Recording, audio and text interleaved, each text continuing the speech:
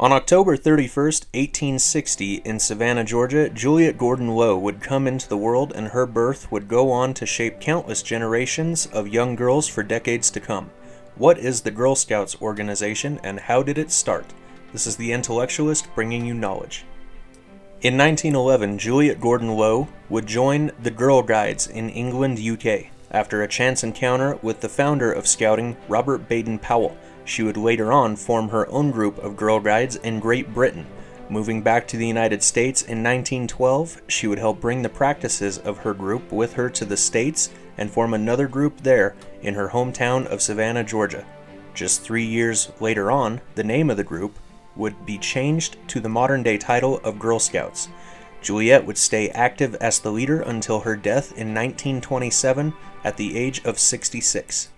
Her original vision for the US based groups of scouts in Savannah was to teach them many skills and practices that could help the first group of 18 help their community in various ways, experiencing the outdoors, and have the opportunity to develop self reliance and resourcefulness. In 1913, the Girl Guides would change their name to Girl Scouts of the United States and moved its headquarters to Washington, D.C.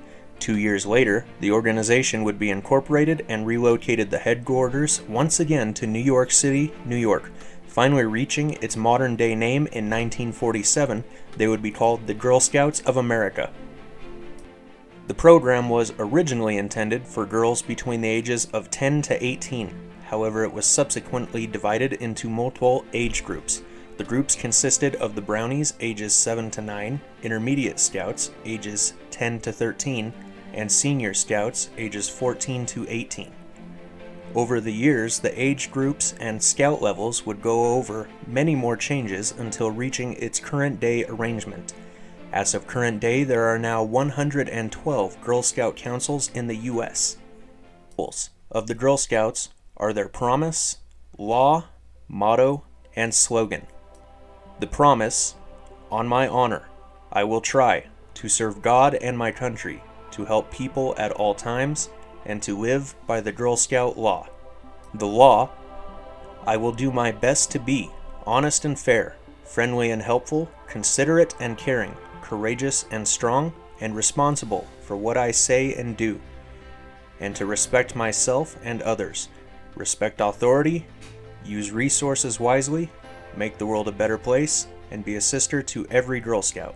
The original law, written by Juliette herself, was as follows A Girl Scout's honor is to be trusted, a Girl Scout is loyal, a Girl Scout's duty is to be useful and to help others. A Girl Scout is a friend to all and a sister to every other Girl Scout, no matter to what social class she may belong. A Girl Scout is courteous. A Girl Scout keeps herself pure. A Girl Scout is a friend to animals. A Girl Scout obeys orders. A Girl Scout is cheerful. A Girl Scout is thrifty. The motto, be prepared. The slogan, do a good turn daily. The emblem, which was originally designed by Juliette personally, was used up until 1980. As of current day, there are over 212 skill badges, as well as 42 Journey Awards, and various other badges and achievements that can still be earned even later on as an adult. In its history, the organization has had over 25 presidents, the first being Juliette Gordon Low herself, and the present day being Kathy Hopinka Hannan.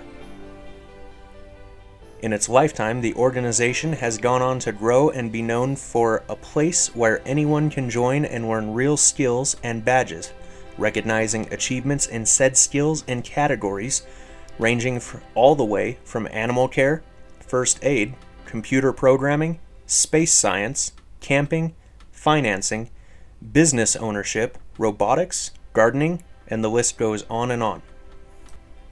In 2011, President Barack Obama would approve the minting of 350,000 silver dollar coins in commemoration of the over 50 million women influenced by the organization and the 100 year anniversary under the Girl Scouts of the USA Commemorative Coin Act. The group is preceded by its sibling group, the Boy Scouts of America, which is just two years older. In summary, Juliette would return to the US in 1912, and her actions would go on to influence and educate over a hundred years of generations of young girls, women, and adults, amassing over 50 million in total as of 2011 and many more since then. She was born in Savannah, Georgia in 1860 and passed away on January 17, 1927 at age 66. Having achieved a lifetime of accomplishments, she is now resting in Colic, St. Savannah, Chatham, Georgia.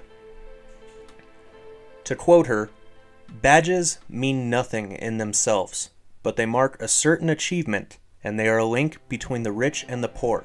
For when one girl sees a badge on a sister scout's arm, if that girl has won the same badge, it at once awakens an interest and sympathy between them.